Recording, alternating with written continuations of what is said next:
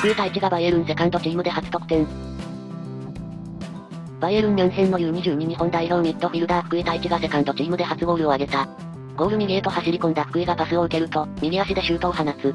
ゴールキーパーをかすめながらもゴールへ吸い込まれ、チームの6点目を記録した。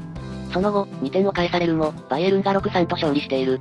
これまでセカンドチームで22試合に出場していた福井だが、23試合目にして初ゴールを記録。チームもここ6試合で5勝目を挙げている。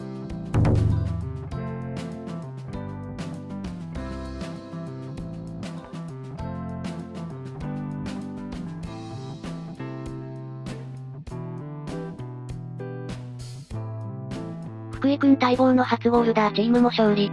福井くんゴール、これってバイエルンでの公式戦初ゴールだったりするんじゃない？ナイス、怪我だけはしないように頑張れ。この調子で頑張って怪我には気をつけて。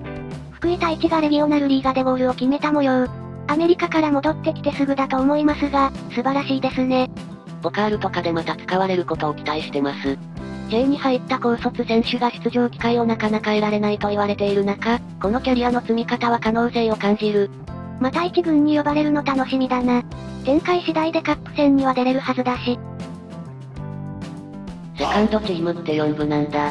知らなかった。当チャンネルは小ネタやネット反応集の他にもゆっくり解説動画でサッカー解説もやってます。チャンネル登録高評価よろしくお願いします。コメントやいいね、励みになります。ゆっくりしていってね。